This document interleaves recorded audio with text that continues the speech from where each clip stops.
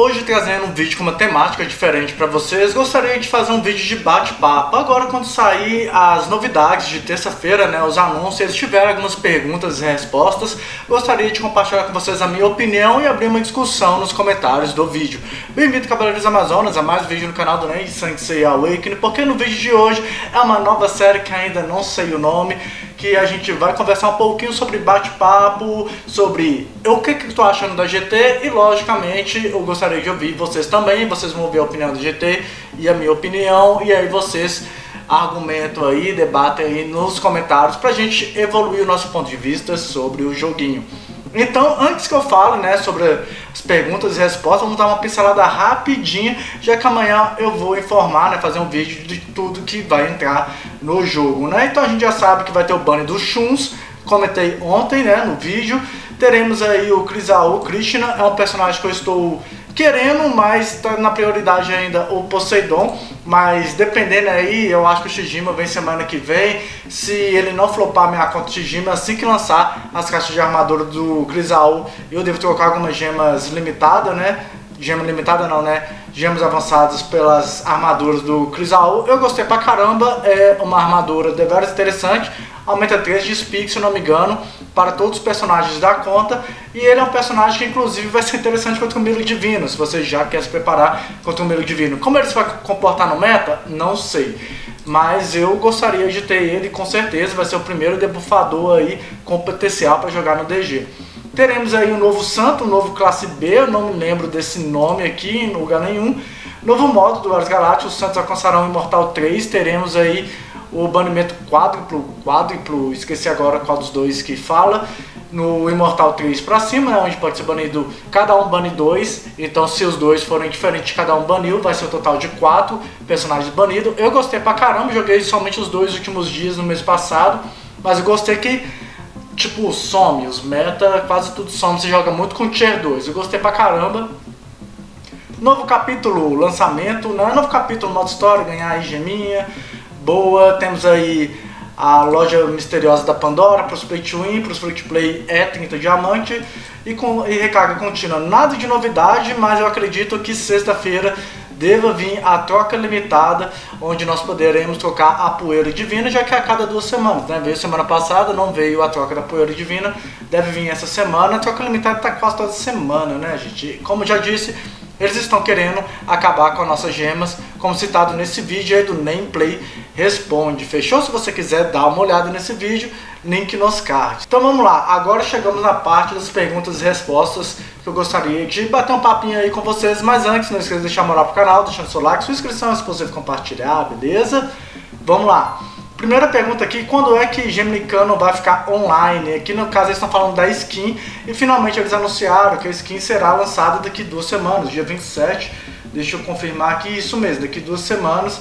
Ele vai vir por evento, tá? Ele não vai ser toma, você vai ter que provavelmente logar, fazer algumas missõezinhas. Deve ser aqueles eventos é, facinhos de conseguir, mas você vai ter que ficar logando aí, provavelmente nessa semana, para conseguir desbloquear a skin do Cano de Gêmeos, que é uma skin top, afinal de contas vai ser a primeira skin do Cano, que é um Tier 1 atualmente, né? Então, é, sei lá, roubado, né? Lançar a skin pro Tier 1, mas fazer o quê? Pelo menos vai ser free to play aí pra geral. Vamos aqui para a segunda, esperamos aumentar a função de Rabbit rápido até 5, 6 estrelas, eu acredito que seja renascimento rápido, né, de upar cavaleiro, nós temos a função somente para 4 estrelas. Eu gostei dessa dessa ideia aqui, né? Porque, cara, cansa muito ficar upando vários livros e gostei. Então eles falaram que vão considerar a viabilidade dessa função. Com certeza deve demorar, né? Porque na GT eu acho que deve trabalhar somente 5 pessoas, então tem que tirar alguém do cronograma para fazer alguma introdução no jogo. Mas isso aqui vai ser muito, muito bem-vindo, né? Porque, cara, você demora, sei lá, uns 5 minutos, 10 minutos para upar alguém para 6 estrelas, caso você tenha todos os recursos, né? É demorado pra caramba, velho. E, tipo, até eu já. Ah, eu tenho preguiça de fazer muita coisa no jogo. Mas vamos aqui para a última pergunta que eles falaram que eu gostaria de bater um papo com vocês também. A pergunta número 3. Espero que a partida de energia infinita possa ser adicionada ao campo de honra como jogabilidade de longo prazo. Né, que eles estão querendo introduzir a aquela onde a gente tinha energia infinita, né? O último evento PVP aí, que estava muito fácil de conseguir todas as recompensas na Arena de Honra. Ao mesmo tempo, o mecanismo de correspondência de altas vitórias precisa ser otimizado e adicionar tarefas relacionadas com vitórias.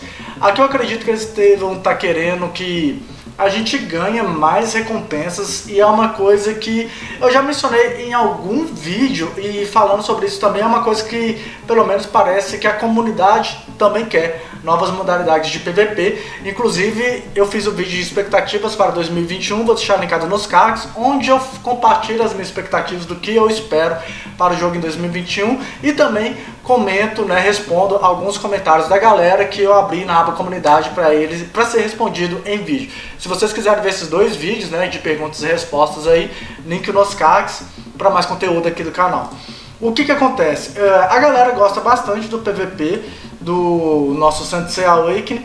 A zica é que na Arena de Honra, infelizmente, nós não temos muitas opções de recompensa, né? Temos recompensas bem melhor, inclusive, do que dos duelos galácticos na Arena de Honra, né? Por causa que a quantidade de diamante que nós conseguimos lá é muito superior. No duelos galáctico, o que mais vale a pena mesmo é o murmúrio, né? E a competitividade. Mas as missões aqui dos duelos galácticos, ó, da Arena de Honra, são muito, muito melhores.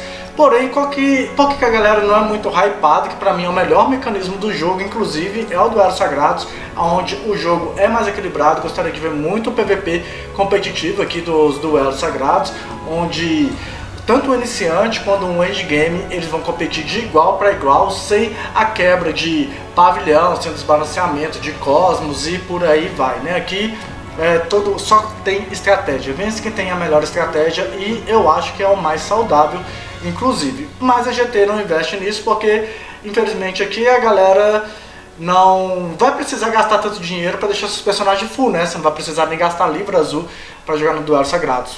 O que eu acho é que deveria ter alguma recompensa diferenciada. Aqui eles poderiam dar fragmentos de murmúrio. Aqui nós temos um, dois, três, quatro. Se eu não me engano, cada murmúrio são 40 para fazer um murmúrio. Deixa eu dar uma coladinha aqui. Vamos ver. Não. É, aqui ó. Apolo. Combinar. A gente precisa de 80, né? Pra fazer aqui um murmúrio. Eu acredito que na. Não, será que é isso mesmo? 20 para fazer um. A gente precisa de 20, pelo que eu entendi aqui, né? Pra fazer um murmúrio dos deuses, beleza? Ou seja, ali eles poderiam distribuir, por exemplo, cinco, né? Aqui cinco fragmentos, cinco fragmentos, cinco fragmentos, cinco fragmentos, a gente ganharia um murmúrio se a gente pegasse aí um rank mais interessante. Os ranks, para quem não sabe, eles é menor, né? Aqui, mas é bem difícil.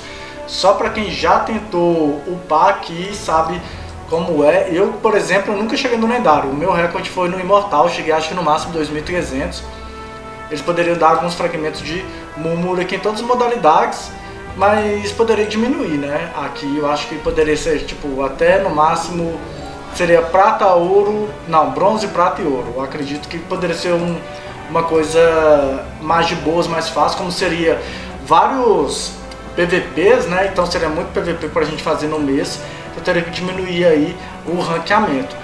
Mas é isso, e aí a galera tá querendo que a energia infinita entre aqui também, então eles poderiam, de alguma forma, não apenas como murmúrio, mas algumas outras recompensas referente a, ao ranqueamento, né, aqui da recompensa de divisão, que é muito, cara, sério, herda, velho. Poderia ter, por exemplo, baú de fragmento GSS, né, que a gente só ganha atualmente nos 12 tempos de hacks, poderia melhorar muito aí a recompensa da galera aqui, pra galera se motivar um pouquinho mais, ainda mais que aqui é horário livre, né, praticamente.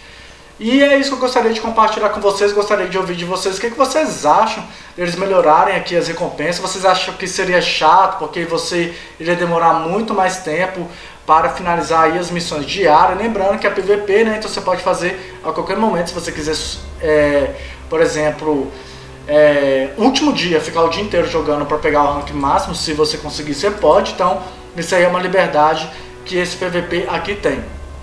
E aqui seria somente as missões diárias e as missões semanais. Né? Agora eu gostaria de saber de vocês o que, que vocês acham sobre esse meu ponto de vista, deles melhorarem aqui e o que, que vocês acham de ter mais algum PVP e estrategicamente falando, vocês acham que floparia aí os duelos galácticos? Esse aí eu acredito que seria o maior receio da GT. Eles investirem aqui na Arena de Honra e a galera não querer mais investir na, nos duelos galácticos, a menos que eles melhorem bastante as recompensas dos duelos galácticos, que eu acho que já passou da hora também de melhorar as recompensas lá. De qualquer forma, eu gostaria agora de ouvir o que vocês têm a dizer. Não esqueçam de ver os vídeos nos cards indicados, esses aí na tela. Comentar aí no vídeo sobre esses temas abordados ou algum outro tema. Fique à vontade também em abordar nos comentários. E claro, nos vemos no próximo vídeo. Valeu e fui!